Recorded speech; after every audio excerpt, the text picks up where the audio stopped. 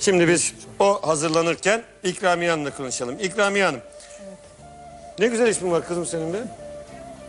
Niye böyle bir isim vermişler? Çocukları olmuyor da böyle birden bir. Bilmiyorum artık. Kaç kardeşsin sen? Beş. E maşallah beş de kardeşmiş. Hani çocuk olmuyor da çocuk oldu da hani ikramiye gibi oldu. Ne güzel. Kocan senden tanışınca şey demiştir. Bana ikramiye çıktı. He? Evet öyle. Peki. Hadi bakalım biraz gerginsin rahatla. de-